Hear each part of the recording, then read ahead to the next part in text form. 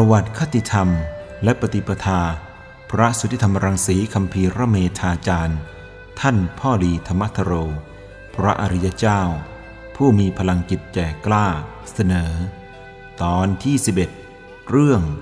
ได้ธรรมะอัศจรรย์ณถ้ำเชียงดาว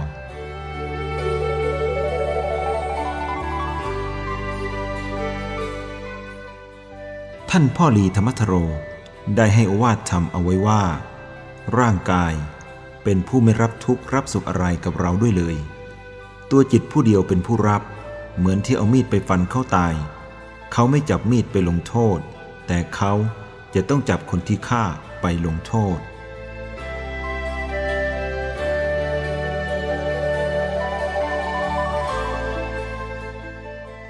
หนังสือประวัติท่านพลีได้เล่าต่อไปอีกว่า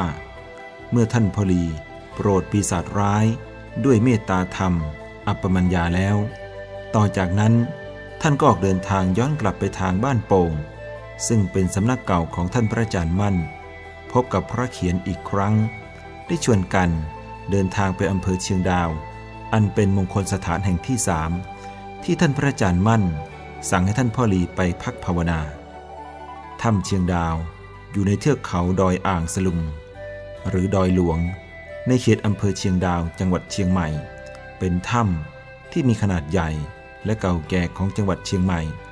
มีความลึกประมาณ 100 เมตร เดิมเป็นบริเวณถ้ำเป็นป่ารก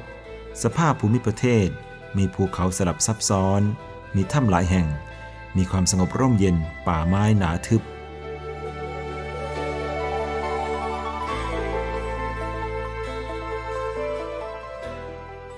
เมื่อปีพุทธศักราช 2430 พญาอินทคอได้ชักนำชาวบ้านมาแผ่วถางป่าสร้างวัด และบันไดหน้าถ้ำในปีพุทธศักราช 2456 มีภิกษุชาวไทยใหญ่รูปหนึ่ง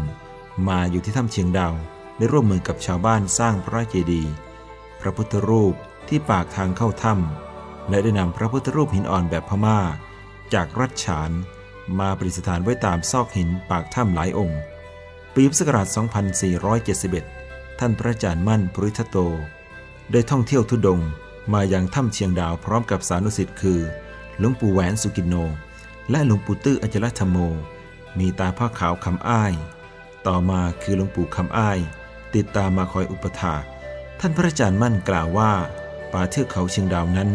ถือเป็นระมณีสถานถ้ำเชียงดาวถือเป็นมงคลสำหรับนักปฏิบัติธรรม ที่ถ้ำเชียงดาวแห่งนี้ มีพระอรหันต์มานิพพานสามองค์สององค์ นอนนิพพานอีกองค์หนึ่งเดินจงกรมนิพพาน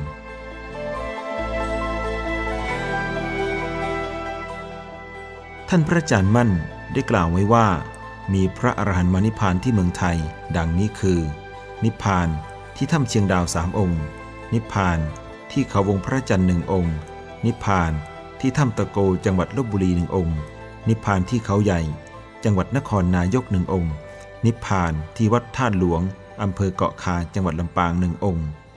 พระอรหันตุกประเภท เป็นบุคคลผู้ประเสริฐอัศจรรย์ ทั้งแก่ตนและแก่โลกทั้งสามพระอรหันต์จะปรากฏขึ้นในโลกแต่ละองค์ เป็นของยากลำบากมาก รองจากพระพุทธเจ้าตรัสรู้ เหมือนขุมทองคำธรรมชาติ จะผุดขึ้นท่ามกลางพระนครหลวงของพระเจ้าจักรพรรดิไม่เป็นสิ่ง จะผุดขึ้นได้อย่างง่ายดายเลย ความเป็นอยู่แห่งชีวิตของพระอรหันต์ทั้งหลาย ผิดจากความเป็นอยู่ของโลก เพราะชีวิตของท่าน สดชื่น ด้วยธรรม แม้ร่างกายจะเป็นสมมติเหมือนโลกทั่ว ๆ ไป แต่ใจผู้ครองร่างเป็นของบริสุทธิ์ จึงทำให้ทุกส่วนในร่างกาย สดชื่นไปตาม การสั่งสอนสตบโลกประเภทกายทิพย์ต้องใช้ภาษาใจล้วนๆติดต่อและแสดงอัตธรรม ผู้รู้ภาษาใจด้วยกัน ย่อมเข้าใจได้ง่าย และได้รับประโยชน์รวดเร็วกว่าธรรมดาอยู่มาก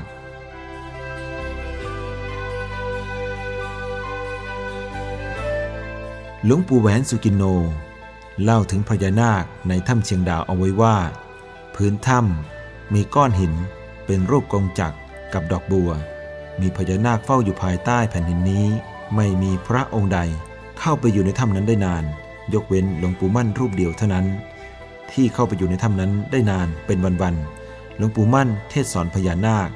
แต่พญานาคไม่ยอมรับคำแนะนำเพราะยังอะไรอัตภาพปัจจุบันของตนอยู่ ในที่สุด ท่านพระอาจารย์มั่นเห็นว่า เข้าไปทำความรำคาญให้แก่เธอ จึงไม่เข้าไปในถ้ำนั้นอีกเลย ที่ถ้ำพญานาคนี้ หลวงปู่แหวนเข้าไปอยู่หนึ่งวัน หลวงปู่ตื้อเข้าไปอยู่สามวัน แต่ละองค์ที่เข้าไปอยู่ ต่างถูกพญานาคตำหนิกล่าวโทษเอาทั้งสิ้น พระท่านอยู่ไม่ได้ เพราะทรงกิจออกไปดูทีไร เห็นพญานาคคอยจ้องหาเรื่องตำหนิอยู่ตลอดเวลา เมื่อออกพรรษาแล้ว ท่านพระอาจารย์มั่น ท่านก็เข้าไปอยู่ภายในถ้ำนั้น 9 วัน 9 คืน โดยไม่ออกมาเลย ในวันที่ 10 ท่านจึงออกมา หลังจากฉันจังหันเสร็จแล้ว ท่านได้เล่า ให้คณะสิทธิ์ฟังว่า ท่านเข้าไปช่วยเจ้าของผู้สร้างเจดีย์เขาห่วงเจดีย์ของเขา เขาไปไหนไม่ได้ ท่านจึงไปช่วยแนะนำเขา เวลานี้เขาไปแล้ว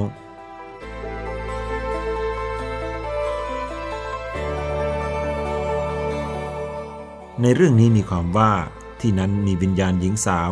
กับสามเณรที่เป็นน้องชาย มาวนเวียนอยู่ ท่านจึงถามว่า มาเดินอยู่ทำไม วิญญาณก็เล่าให้ฟังว่า พวกเขาสร้างเกียดีย์ไว้ยังไม่เสร็จก็ต้องมาตายเสียก่อน เขาจึงกังวลกับเรื่องนี้ยังไปไหนไม่ได้ ท่านพระอาจารย์มั่นจึงเทศ ให้สติแก่วิญญาณสองพี่น้อง มีใจความว่า สิ่งที่ล่วงไปแล้วไม่ควรไปทำความผูกพัน เพราะไม่สามารถเอากลับมาให้เป็นปัจจุบันได้ มีแต่จะทำให้กังวลและเป็นทุกข์ ส่วนอนาคตก็ไม่ควรไปห่วง ไปเกี่ยวข้อง อดีต ควรปล่อยไปตามอดีต อนาคตก็ควรปล่อยไปตามการของมัน ปัจจุบันเท่านั้นจึงจะทำให้สำเร็จประโยชน์ได้ เพราะอยู่ในฐานะที่สามารถทำได้ การสร้างพระเจดีย์เราสร้างด้วยหวังบุญหวังกุศลไม่ได้สร้างเพื่อหวังเอาก้อนอิฐก้อนหินปูนทราย ในองค์พระเจดีย์ติดตัวไปด้วย สิ่งที่เป็นสมบัติของเราในการสร้างพระเจดีย์ก็คือบุญ ที่เราจะเอาติดตัวไปได้ เราไม่ได้เอาสิ่งของก่อสร้างวัตถุทานต่างๆ ที่สละแล้วนั้นเอาติดตัวไปด้วย เราเอาไปได้เฉพาะส่วนนามธรรม ที่เกิดจากการสละวัตถุทานเหล่านั้น นั่นคือตัวบุญตัวกุศล เจ้าของผู้คิดเป็นบุญกุศลเจตนาขึ้นมา ให้สำเร็จเป็นวัตถุทายทานต่างๆ นั้นคือใจ ใจนี่แหละเป็นผู้ทรงบุญทรงกุศล ทรงมรรคทรงผล ทรงสวรรค์นิพพานและใจนี่แหละ เป็นผู้ไปสู่สวรรค์นิพพาน นอกจากใจไม่มีอะไรไป ถ้าคุณทั้งสอง ยินดีเฉพาะกุศลผลบุญ ที่ทำได้จากการสร้างพระเจดีย์ไปเท่านั้น ไม่มุ่งจะแบกหามพระเจดีย์ไปสวรรค์นิพพานด้วย คุณทั้งสองก็ไปอย่างสุขโต หายห่วงไปนานแล้ว เพราะบุญเป็นเครื่องสนับสนุน บุญจึงไม่เปลี่ยนแปลงเป็นบาปตลอดกาลคุณทั้งสอง สร้างบุญญาพิสมพานมา เพื่อยังตนไปสู่สุขติแต่กลับมาติดกังวล ในอิฐในปูนเพียงเท่านี้ จนเป็นอุปสรรคต่อทางเดินของตน ซึ่งทำให้เสียเวลาไปนาน ถ้าคุณทั้งสอง พยายามตัดความขัดข้องห่วงใยที่กำลังเป็นอยู่ออกจากใจ ช่วงเวลาไม่นานเลย จะเป็นผู้หมดภาระผูกพัน คุณมีจิตใจมุ่งมั่นในภพใด จะสมหวังในภพนั้น เพราะแรงกุศลที่ได้พากันสร้างมาพร้อมอยู่แล้ว หลังจากนั้นหลวงปู่มั่น ได้สอนดวงวิญญาณให้รักษาศีลห้าสอนอนิสงค์ของทาน ศีลภาวนา และหลักธรรมอื่นๆ จนดวงวิญญาณคลายการยึดติด แล้วไปเกิดในสวรรค์ชั้นดาวดึงพิภพในลำดับต่อมา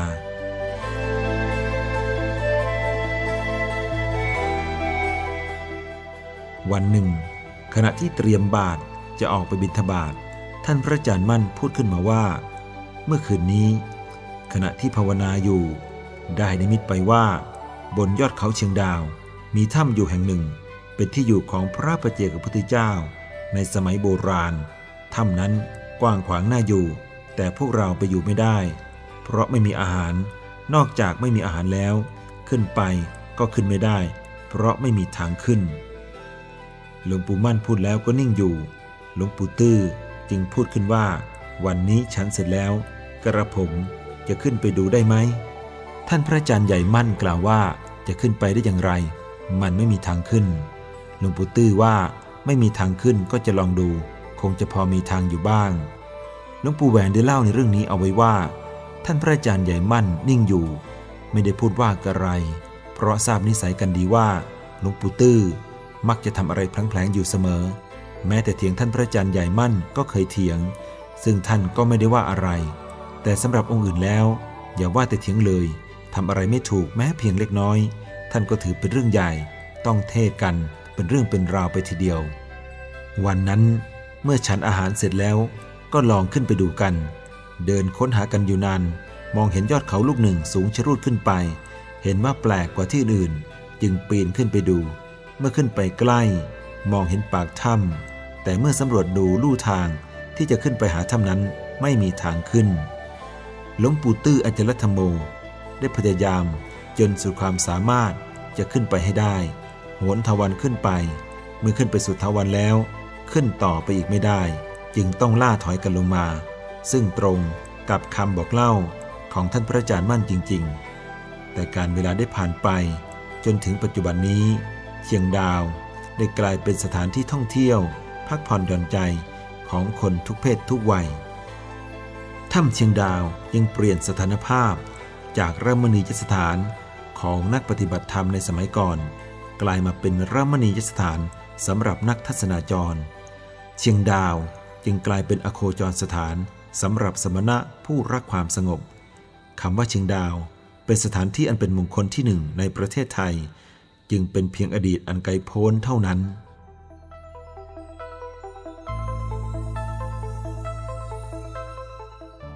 ท่านพ่อหลีธรรมทโร ได้เล่าเรื่องทำอัศจรรย์ที่ถ้ำเชียงดาวเอาไว้ว่า ขณะนั้นเราขึ้นไปพักอาศัยในถ้ำเล็ก ๆ แห่งหนึ่ง ซึ่งท่านพระอาจารย์มั่นเคยมาพักแล้ว จากนั้นจึงเดินต่อไปถึงถ้ำเชียงดาว เมื่อวันขึ้น 12ค่ำเดือน 3 ปีพุทธศักราช 2475 บำเพ็ญความภาคเพียรภาวนา ทั้งกลางวันและกลางคืนจิตหมุนโดยสมาธิธรรมไม่หยุดหย่อน จิตใจมั่นคงแน่นปึกขึ้นโดยลำดับ ไม่แสดงอาการกวัดแกว่งอย่างที่เคยเป็นมา เป็นที่อบอุ่นในทางธรรม ไม่อาลัยในทางโลก ในวันขึ้น 15 ค่ำกลางเดือน3ตรงกับวันมาคบูชา ได้ตั้งใจปฏิบัติบูชาองค์สมเด็จพระสัมมาสัมพุทธเจ้า และพระอรหันตสาวก 1,250 รูป ตั้งแต่หัวค่ำถึงเวลาสามทุ่มเศษ จิตสงบแน่วแน่ดี ปรากฏลมและแสงสว่าง พุ่งออกจากตัวโดยรอบในบริเวณนั้น ได้กำหนดลมหายใจอันละเอียด จนไม่ปรากฏว่า มีลมหายใจอยู่เลย เงียบสนิทจิตสงบ นิ่งไปเฉยๆ ไม่มีความคิดปรุงแต่งใดๆ เข้ามากล้ำกลาย ความคิดปรุงหายไปสิ้น สัญญาสังขารดับสนิท รู้สึกโล่งโปร่งสว่างข้างใน จิตเกิดมีสรภาพในตัว ระงับเวทนาได้ฉับพลัน ปรากฏธรรมผุดขึ้นในดวงจิตว่า ให้เพ่งดู พิจารณาดูภพชาติ ตายเกิด อวิชชาว่าเป็นมาอย่างไร ได้ปรากฏนิมิตขึ้น เหมือนเรา มองเห็นด้วยตาเปล่าว่า ความเกิด ความตาย เหมือนสายฟ้าแลบ จึงเพ่งพิจารณาต่อไปถึงเหตุแห่งความเกิดและเหตุแห่งความตาย และเพ่งพิจารณาถึงคำว่าอวิชชาความไม่รู้ คือไม่รู้อะไร รู้อย่างไรจึงจะเรียกว่ารู้อวิชชา รู้อย่างไรจึงจะเรียกว่ารู้วิชา ทบทวน เพ่งพินิจพิจารณาอยู่อย่างนี้ เป็นเวลาเกือบสว่าง เกิดความสว่างในวิปัสสนาญาณ จิตกำหนดรู้ทิฏฐิธรรมเป็นที่น่าอัศจรรย์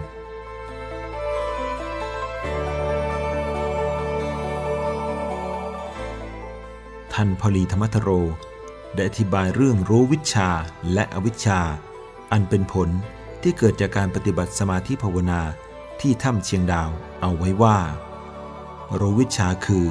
ไม่ใช่รู้ธรรมดา คือมันมาล้างวิชาเก่า สัญญาที่เคยรู้มาในทางโลกและทางธรรมจำได้มากน้อยเพียงใด ล้างเกลี้ยง ปล่อยให้มันดับไปหมด ยังเหลือแต่ดวงจิตตั้งเที่ยง ไม่เอียงไปข้างหน้า ไม่เอียงไปข้างหลัง ไม่เอียงไปข้างซ้ายคือ อัตตะกิลมัฐานุโยกคือความไม่พอใจ ไม่เอียงไปข้างขวาคือ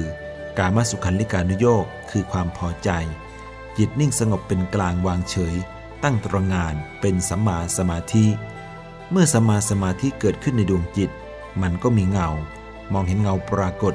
เกิดวิปัสสนากรรมฐาน วิปัสสนากรรมฐานคือตัววิชา วิปัสสนากรรมฐานเป็นตัวปฐมวิชา มี 8 อย่างคือ วิปัสสนาญาณ อิทธิวิธี มโนบยิทธิ ทิพจักขุ ทิพโสตะ เจโตปริยญาณ บุพเพนิวาสานุสติญาณ และอาสวัคยญาณ วิชาทั้งหมดนี้เกิดจากสมาสมาธิ คนไม่มีสมาสมาธิ ไม่มีเกิดรับรองเด็ดขาด จะฉลาดมากน้อยเพียงใดก็ตาม มันไม่สำเร็จเป็นวิชา มันก็ตกอยู่ในอำนาจของอวิชชาทั้งนั้น วิชาแปดประการนี้ มันเกิดจากสมาสมาธิ สิ่งเห็นผิดผิดจริง สิ่งเห็นถูกถูกจริง ถ้าจะกล่าวตามเหตุผลได้แก่ เห็นอริยสัจธรรม 1. วิปัสนาญาณ เมื่อดวงจิตเห็นแจ้งชัดในกองทุกเช่นนี้ คือเห็นทุกเป็นตัววิปัสสนาเกิดขึ้นในดวงจิต ส่วนอนัตตามาพิจารณาสิ่งสภาพทั้งหมด เราไม่ยึดสิทธิ เราไม่แสดงอำนาจ ไม่แสดงอิทธิพลว่าเจงกาสามารถทำลายสิ่งที่เป็นอนัตตานั้น ให้อยู่ในอำนาจ เราจะไปเกียดกั้นความเกิดความแก่ความเจ็บความตายไม่สำเร็จ เมื่อไม่สำเร็จทีนี้ มันจะแก่ก็ให้มันแก่ไปเถิด มันจะเจ็บ ก็ให้มันเจ็บไปเถิด มันจะตาย ก็ให้มันตายไปเถิด ไม่แสดงความดีใจในความตายของตนและคนอื่น ไม่แสดงความเสียใจในความตายของตนและคนอื่นทำจิตเป็นกลางวางเฉย เป็นสังขารุปเปกขายาน ปล่อยสังขารตามสภาพ 2. อิทธิวิธี เมื่อเราได้ปราบปรามเส้นน้ำเหล่านี้ ให้ราบรื่นไปจนหมด สบายใจเอาละทีนี้ เราก็จะได้วิชาเป็นอาวุธ วิชาเป็นอาวุธคืออิทธิวิธี เราสามารถที่จะแสดงฤทธิ์ขึ้นในทางใดทางหนึ่ง มีปรากฏปาฏิหาริย์ขึ้น แสดงปาฏิหาริย์ทางกาย แสดงปาฏิหาริย์ทางวาจา แสดงปาฏิหาริย์ทางจิตทำฤทธิเดชได้ต่างๆ เป็นเครื่องใช้สอย เป็นศาสนีทำจิตของพระศาสนานี้คืออิทธิวิธี มีอาการหลายอย่าง เดินในน้ำไม่เปียก เดินในไฟไม่ร้อน ตากฝนไม่เปียก ตากลมไม่หนาว ตากแดดตากฝนอดทนแข็งแกร่ง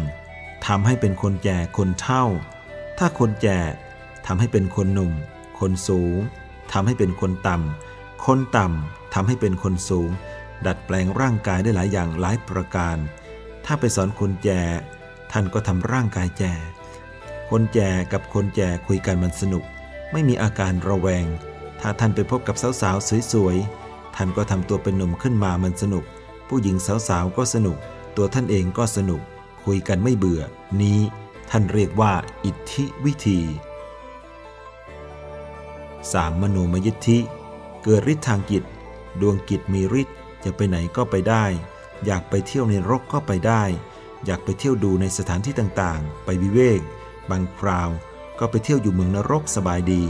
ไปเล่นอยู่กับพวกสัตว์นรก ไปหยอกล้อ กับพวกสัตว์นรก คนใดบาปน้อยก็ขึ้นมาสนทนา ฝากข่าวบุญข่าวกุศลมหาญาติ บุคคลที่ได้คำสั่งมาจากนรก ก็มาแนะนำสั่งสอนพวกญาติ ให้ทำบุญนี่ไปเที่ยวเมืองนรก บางคราวก็ไปเที่ยวกับพวกสัตว์เดรัจฉาน ไปสนทนากับพวกสัตว์ พวกนกเอี้ยง นกสาลิกา นกฮูก นกอะไรก็ตาม หรือสัตว์สี่เท้าก็ดีสองเท้าก็ดี ไปอยู่ในป่าในดงพงไพรก็ดี ไปสนทนาคุยกับสัตว์ มันก็สนุกละซีทีนี้ มันสนุกไม่เหมือนคุยกับคน คุยกับคนมันลำบาก คุยกับสัตว์มันสบาย ไม่ต้องพูดมาก เพียงแค่นึกในใจสนทนากันไป เล่าเรื่องอะไรต่างๆ ถามข่าวถามคราว ว่าแจไปอยู่เป็นสัตว์ กินอะไร กินอิ่มน้ำสำราญ ดีอยู่หรือ เห็นมนุษย์แล้ว เจ้ายังไง อย่างนี้เป็นต้น แล้วก็ไปเที่ยวในเมืองเปรต เมืองเปรตยิ่งสนุก เปรตมันมีหลายจำพวกสนุกมาก พวกเปรตบางตัวหัวเท่าตุ่ม ปากเท่ารูเข็ม บางตัวขายาวตั้งสามวาบางตัวแขนขามันสั้น เพียงคืบเดียวเท่านั้นแหละ น่าดูเหมือนกับตัวการ์ตูนนั่นแหละ บางพวกก็มีแต่ริมฝีปากข้างล่าง ข้างบนไม่มี บางพวกริมฝีปากขาดหมด มีแต่ฟันแงแจบางพวกก็ตาโตโปนออกมาเท่าลูกมะพร้าว บางพวกก็เอาเล็บมือยาวเท่าใบตาล มันสนุกน่าดูน่าชม บางตัว ก็อ้วนซิจนไปไม่รอด บางตัวก็ผอมกรโกโสมีแต่กระดูก บางพวกก็ชนกัน บางพวกก็กัดกัน บางพวกก็ตีกัน นี่พวกเปรตนี่ก็สนุกเรียกว่ามโนบยิทธิฤทธทางใจ เมื่อดวงกิจตั้งมั่นก็ไปดูไปชม บางทีก็ไปเที่ยวเมืองพญานาค บางทีก็ไปเที่ยวในเมืองมนุษย์ บางทีเบื่อมนุษย์ก็ขึ้นไปเล่นกับพวกเทวดา ไปดูนางฟ้านางงามในเมืองสงสวรรค์ ในชั้นจตุมหาราชิกา ไปเที่ยวในชั้นยามาดาวดึง ไปจนตลอดเที่ยวถึงพรมแน่ดวงจิตไปได้ไม่ขัดไม่ข้อง นี้เกิดเป็นมโนมยิทธิอำนาจของดวงจิตนี้ก็เป็นวิชา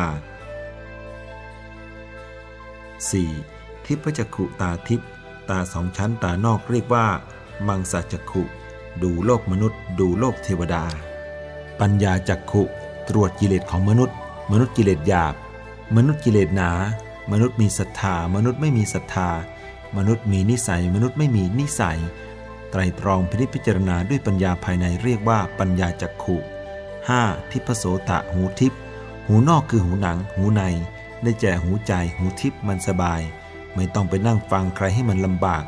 ต้องการจะฟังอะไรละ่ะ ฟังได้ทุกอย่างทุกเรื่อง เปรตมันคุยอย่างไรกัน ฟังได้ยิน สัตว์มันคุยกันฟังก็ได้ยิน พวกเทวดาคุยกันอย่างไร ว่าสวรรค์แสนสุขก็ฟังได้ยิน ฟังได้ทุกอย่างเว้นแต่ไม่ต้องการ เหมือนวิทยุ ถ้าเปิดก็ได้ยินเสียง ถ้าหูหนวกก็ไม่ต้องเปิด ผู้มีวิชาข้อนี้ ถ้าต้องการฟังก็เล่นก็เปิดขึ้น ฟังไป ถ้าไม่ต้องการปิดปั๊บสบายใจนี้เรียกว่า ทิพโสตะนี้ก็เป็นวิชาข้อหนึ่ง 6. เจโตปริยญาณรู้จักวาระน้ำจิตของสัตว์โลกคือ ดวงจิตของมนุษย์พุทธบริษัท จะคิดดีคิดชั่วคิดต่ำคิดสูง คิดเลว คิดหยาบ ทราบได้ด้วยปัญญา ข้อนี้เรียกว่าเจโตปริยญาณ เป็นวิชาสำคัญข้อหนึ่ง 7. ปุเพนิวาสานุสติญาณรึกชาติได้ 8. อาสวัคยญาณทำความคิดให้แจ่มใสทำใจให้สะอาด ล้างกวาดอวิชชาตันหาอุปทานออกจากจิต ไม่ให้ อวิชชาเข้ามาเกิดในดวงจิต ไม่มีตันหามาเป็นเจ้าเรือนในดวงจิต ไม่มีความยึดถือ เมื่อบุคคลผู้ใดมาคลายกิเลสของตน กามชโห ไม่ติดในกิเลสกาม ไม่ติดในพัสดุกาม ทิฏฐิชโห ไม่ติดในความคิดความเห็น อวิชชาชโห ไม่หลงไปเห็นว่าอวิชชาเป็นวิชา ปล่อยวางจิตเสียได้ ไม่ยึดไม่ถือ ความชั่วก็ไม่ยึดไม่ถือ ความดีมีอยู่ในตนก็ไม่ยึดถือ ปล่อยดี คายความดี คายความชั่วออก ไม่ยึดชั่วเป็นของตน ไม่ยึดดีเป็นของตน ปล่อยวางตามสภาพนั่นชื่อว่า อาสวัคขัญญาณจิตนั้นก็ไม่มีอาสวะกิเลสนี้เรียกว่าเป็นตัวนิโรธสัตว์สำเร็จด้วยการประพฤติปฏิบัติให้เกิดวิชา นี่วิชาเกิดขึ้น จากการภาวนาเป็นอย่างนี้ ส่วนอวิชชาเป็นสิ่งที่ตรงกันข้ามคือ ไม่รู้จักอดีตที่ล่วงไปแล้ว ไม่รู้จักอนาคตที่ยังไม่มาถึง ไม่รู้จักปัจจุบันคือความเกิดขึ้นดับไปของรูปนาม คือกายใจ ถึงรู้ได้ก็ขั้นสัญญา ซึ่งจำกันมาจากคนอื่นเขาว่า ไม่ใช่ความรู้ของตนที่สร้างขึ้น ย่อมตกอยู่ในอวิชชาทั้งสิ้น แม้จะปารบถึงเรื่องปัญญา สักปานใดก็ดีก็ยังไม่พ้น เช่น รู้ว่าสิ่งทั้งหลาย มันไม่เที่ยง ก็หลงไปกับสิ่งที่ไม่เที่ยงนั่นแหละ รู้ในสิ่งที่เป็นทุกข์ ก็หลงไหลไปในสิ่งที่เป็นทุกข์ รู้ว่าเป็นอนัตตา ก็หลงไหลไปในสิ่งที่เป็นอนัตตานั่นแหละ รู้อนิจจังทุกขังอนัตตา ก็รู้ไม่จริง ก็ไม่รู้จริง รู้จริงนั้นรู้อย่างไร รู้จริงนั้นรู้อย่างนี้คือ รู้ได้สองหน้า ละได้สองทาง วางได้ทั้งหมดคือ รู้ของเที่ยง รู้ของไม่เที่ยง รู้ทุกข์ รู้สุข รู้อนัตตา ไม่ใช่ตัวตน รู้อัตตาคือตัวตน นี้เรียกว่า รู้ได้สองหน้า ละได้สองทาง วางได้ทั้งหมด ไม่ยึดเอาอดีตอนาคตปัจจุบัน จิตนั้นจึงไม่ใช่จิตไปข้างหน้าข้างหลัง ตั้งอยู่ก็ไม่ใช่ เมื่อทำได้เช่นนี้เรียกว่าวางได้หมด อย่าว่าเดวะยานมัตตายะ ปฏิสติมัตตายะ อนิสิโตจะเวรติน่าจะจินจิโลเจ อุปาริยติ ไม่ยึดถือสิ่งใดๆทั้งหมดในโลกนี้ เมื่อเป็นที่เข้าใจแจ่มแจ้งแล้ว ก็ออกจากสมาธิรู้สึกตัวว่าใจเบากายเบา ปลอดโปร่งกระปรี้กระเปร่า อิ่มอกอิ่มใจ อัศจรรย์เป็นอย่างมาก อย่างที่ไม่เคยเป็นและปรากฏมาก่อน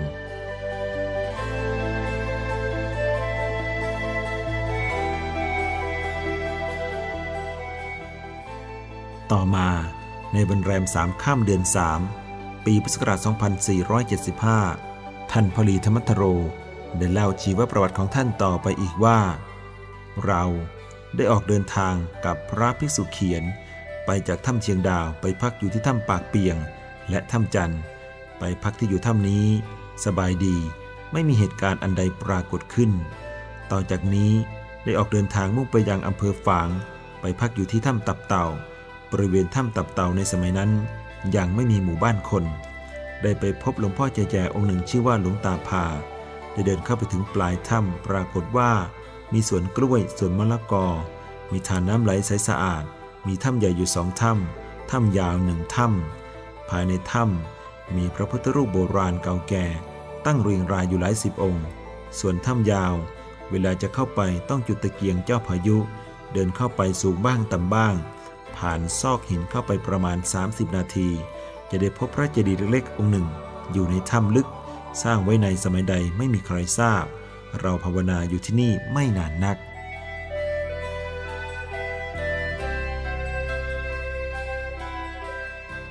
ต่อจากนั้นได้ออกเดินทางข้ามผาป่าดงไปบ้านแม่น้ำกก มีเนินเขาสูงอยู่ทางทิศตะวันออก ในเวลากลางคืนหนาวจนสั่น เสียงเสือร้องคำรามลั่นภูเขา ในหมู่บ้านนี้ไม่มีวัด แต่มีพระพุทธรูปที่ศักดิ์สิทธิ์อยู่องค์หนึ่ง หน้าตากว้างประมาณหนึ่งศอกคืบ รูปร่างสะสวย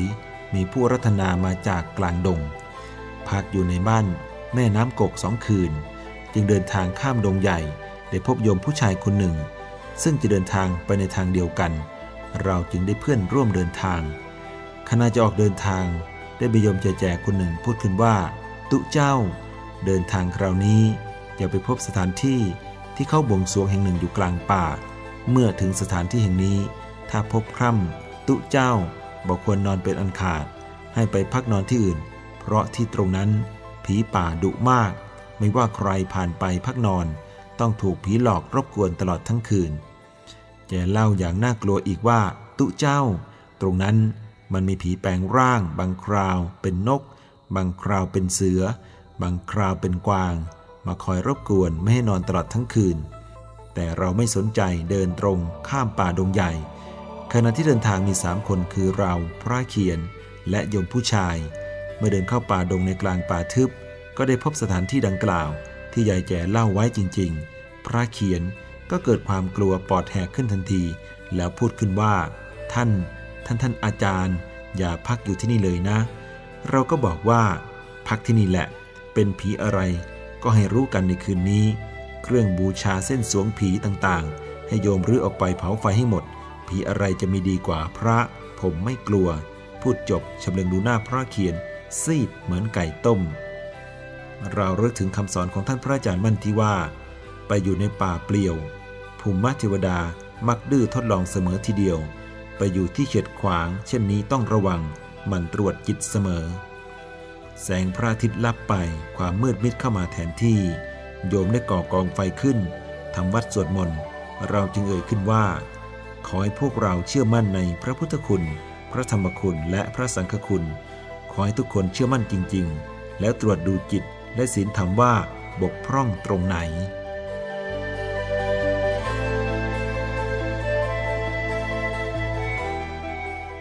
ในคืนนั้น เราได้อธิษฐานอยู่รุกขมูลร่มไม้ ผูกกรดติดกับต้นไม้ และใช้ท่อนไม้หนุนศีรษะ นอนอย่างมีสติ ทรมานตัวไม่กลัวต่อความทุกข์ยากลำบาก ทุกคนให้นอนอยู่ในระยะร้องเรียกได้ยินเสียงกันเนื่องด้วยการเดินทางตรากตรำมายาวนาน ร่างกายก็เหนื่อยล้า พระเขียนจอมขี้กลัวอย่างอุตส่าห์มีอารมณ์นอนกรน และละเมอเพ้อพก สร้างบรรยากาศให้แสนน่ากลัวน่าหวาดเสียว ยิ่งขึ้นไปกว่าเดิมอีก สักครู่หนึ่ง ก็ได้ยินเสียงคนโหยหวน มากระซิบบอกว่า ท่าน ท่านรีบลุกขึ้น จะมีเหตุร้าย เราจึงสะดุ้งตื่นลุกขึ้นมา ได้ยินเสียงสู้สู้ซาซาในบริเวณรอบๆ ห่างจากที่พระเขียนนอนอยู่เพียงห้าวา เรารีบจุดเทียน และร้องเรียกปลุกทุกคนให้ลุกขึ้นนั่งสวดมนต์สักพักก็ได้ยินเสียงนกร้องแปลกหู ตรงกับคำบอกเล่าของยายแก่แก่ว่าถ้านกร้อง จะมีผีตะมอย มาดูดกินเลือด ตอนเช้ามืด เดินไปดูรอบๆที่พัก เห็นรอยเสือขุดดินเป็นทางยาว พร้อมด้วยขี้ใหม่ ๆ ของมัน รอยเท้ามันเดินวนเวียนอยู่ข้างที่พักเรานี่เอง เสือมันจะมากินพวกเรา แต่เดชะบุญคุ้มครองให้ปลอดภัย จากนั้นก็ออกเดินทางต่อไปยังภูเขาลูกเล็ก ๆ มีทานน้ำตกใสสะอาด เสียงน้ำตกดังสนัน่น จึงหยุดพักหนึ่งคืน ในคืนนี้ ไม่ปรากฏว่ามีเหตุอะไรเกิดขึ้น โยมผู้ชายที่เดินทางมาด้วยได้ขอแยกทางไปที่อื่น วันรุ่งขึ้นได้ออกเดินทางไปจนถึงเมืองเชียงแสน จังหวัดเชียงราย เข้าพักอาศัยอยู่ในสวนแห่งหนึ่ง ประมาณ 2-3 วัน แล้วก็ออกเดินทางต่อไปยังตัวจังหวัดเชียงรายได้พักที่ป่าช้าเล็กๆ นอกเมือง พบกับหลวงพ่อองค์หนึ่ง ซึ่งเป็นลูกศิษย์ของเรา มาตั้งแต่ยังไม่ได้บวชชื่อหลวงตาหมื่นหาน จากนั้นเราได้ทุดงล่องป่า ผ่านมาทางจังหวัดพะเยา และจังหวัดลำปาง ได้พักที่ถ้ำแก่งหลวง พักที่นี่สามคืน รู้สึกสบายเพราะเป็นสถานที่สงบสงัดดี ออกไปบิณฑบาตในหมู่บ้าน ก็ไม่มีใครสนใจใส่บาตรต้องฉันข้าวเปล่าอยู่สองวัน เกลือ แม้แต่ก้อนเดียวก็ไม่มี พระเขียนหมดเรี่ยวแรงเดินทุดงต่อไปไม่ไหว เราจึงเดินมุ่งหน้าต่อไปก่อน เดินฝ่าป่าดงเขาท่องเที่ยวมาเรื่อยๆ ถึงจังหวัดอุตรดิตถ์เดินทางผ่านตลาด ไปพักอยู่ที่ป่าช้าแห่งหนึ่ง ใกล้วัดท่าโพ อยู่ที่นั้นระยะหนึ่ง ก็มีโยมมีจิตศรัทธาซื้อตั๋วรถไฟถวาย เพื่อเดินทางไปถึงจังหวัดนครราชสีมา เมื่อถึงจังหวัดนครราชสีมา ได้พักอยู่ที่วัดป่าสารวัน กับท่านพระอาจารย์สิงห์คันตยาคโม เราได้ถามถึงเรื่องท่านพระอาจารย์มั่น ท่านพระอาจารย์สิงห์เองก็ไม่ทราบเช่นกันว่า ท่านพระอาจารย์มั่น ท่านได้พำนักอยู่ณแห่งหนตำบลใด